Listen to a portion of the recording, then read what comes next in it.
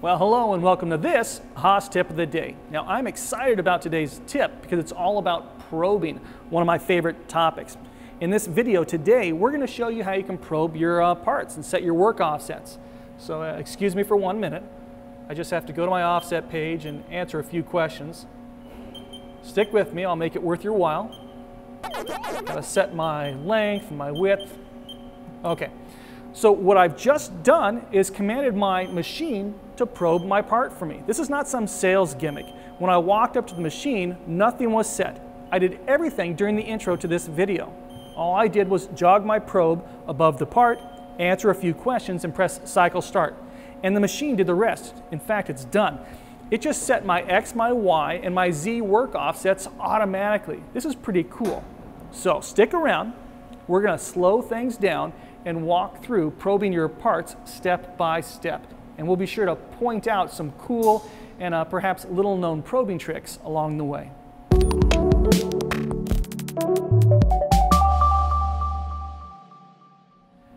Everyone is talking about automation these days, and when it comes to machining, automation starts with your probing system. Now I'm standing here in front of a Haas VF2SS that's uh, equipped with our WIPS system. Now WIPS stands for Wireless Intuitive Probing System, and this system is comprised of a spindle probe. We use that to probe our parts. We've got a, a tool setting probe. We use that to set our tools. And then we've got a sensor that's mounted to our enclosure that communicates with those two probes. Now that sensor is also known as an OMI. That's Optical Machine Interface. And our tool probe can also be called an OTS or Optical Tool Sensor. Our spindle probe also goes by um, work probe or OMP, which is Optical Machine Probe. Now, Haas has made the probing process incredibly simple. Once you've walked through it a couple times, you'll be able to probe any part or tool. So let's walk through it a couple times. Now, there are a few different ways to get to the, to, to the work offset probing cycles on your next generation Haas mill. But I think the easiest is right from the offset page while in memory mode. So we're going to press the memory button, then the offset button to bring us there. Now this video is all about probing your work offsets, so you might have to press the F4 button to toggle over to your work offset page. Once you're on the work offset page, you're going to want to use the cursor arrows to arrow up or down to highlight the work offset that you'd like to set. Um, in our case, we want to set G54, so we'll highlight G54. Now our X, Y, and Z columns are blank, and we don't want to fill these in because the probing cycles are going to do this for us. We're going to want to use the arrow key and arrow over to the right until we get to the probing cycles, the probe action column. So with G54, that row still highlighted, and now the probe action column highlighted, we're going to choose which cycle we'd like to use.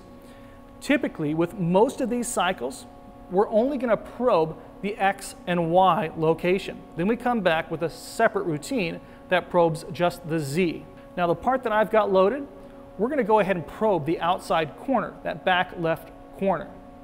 So I'm going to look on my list and it's going to tell me that number 9, the number 9 cycle outside corner, will do what I need it to do. So I'm going to enter 9 and press enter. Now we just follow the on-screen instructions, select probe action, then press part zero set to move to VPS. VPS is a visual programming system. Now, right off the bat, there's a picture showing us where our spindle probe needs to be located. It might be best at this time to exit where we're at, go back into hand jog mode, and jog that spindle probe above the part where it tells us to uh, in the pictures.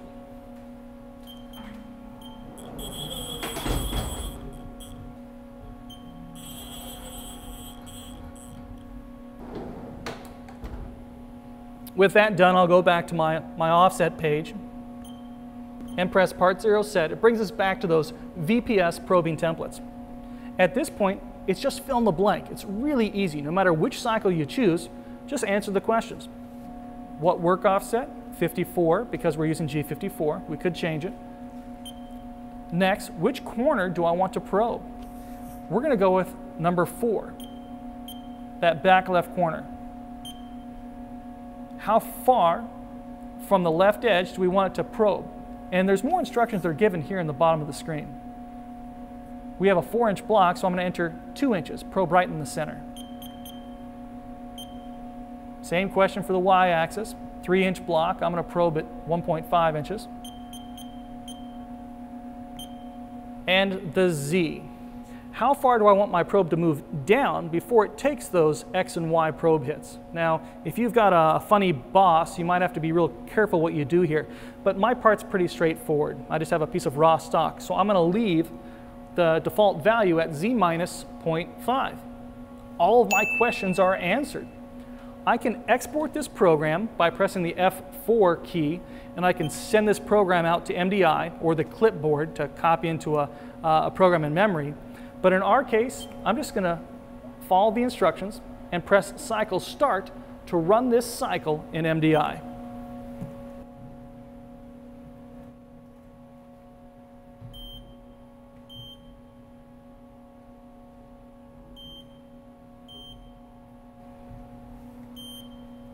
And just like that, we're all done. But actually, we're not done yet. Hold on. We've set our X and Y. The probing cycle wrote to my offset page for us, but we've still got to set that Z. To set the Z axis, we're going to arrow over back to that probe action column, and this time we're going to select number 11, single surface. Follow the on-screen instructions, press part 0 set, and it brings us to our single surface probing cycle. Now this cycle will work for your X, your Y, or your Z axis. We're going to enter in a Z value. I'm going to enter minus one inch. Okay, so I need to jog my probe just above my part, and then I can press cycle start to run it. Now, why did I enter minus 1.0? I'm about a quarter inch above the part. You don't want to enter a number uh, much bigger than what you need, and this is why. If I had positioned my spindle probe, let's say off the part by accident, and I had entered Z minus five inches, the probe would go down five inches. And it might hit the probe body if the probe tip were not triggered. That's a bad move. By entering Z minus one inch, what you're saying is that the spindle probe should probe in the Z minus direction, and if it doesn't get triggered by some surface within one inch, alarm out. It's going to give us a 1093 surface not found alarm. But we've got a real part in there. My spindle probe will touch off on the top of the surface, and when it does, it's going to write that work offset to my G54 Z offset table. Well, we showed you how to probe with just a couple of the available cycles, and we showed you how to do it from what I thought was the fastest way from our offset page. But there is another way. We can access these same probing cycles from VPS, that's our visual programming system. To get there on a next-gen control, you're going to press the edit button and arrow up and over and down until you get to those spindle probing cycles.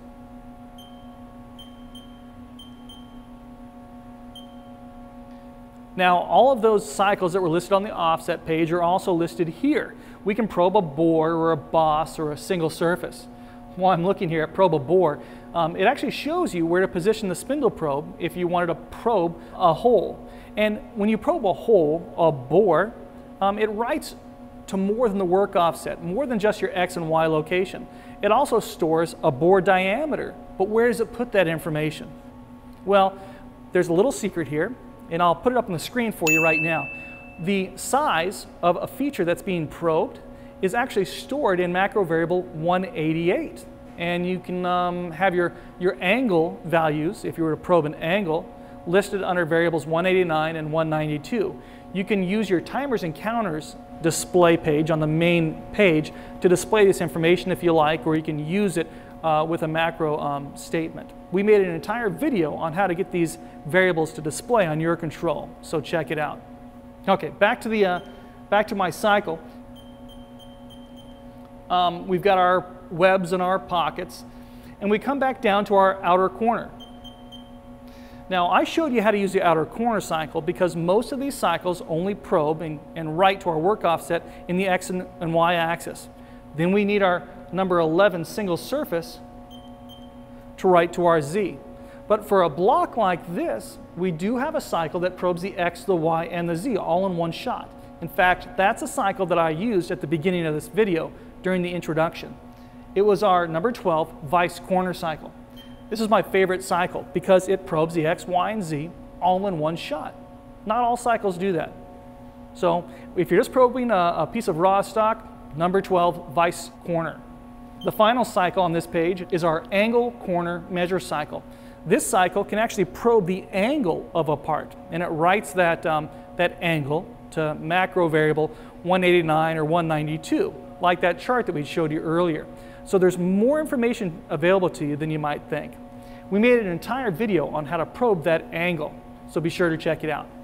In fact, we're going to be making more videos on how to probe your tools. We're going to be making videos showing you how to probe from within a program.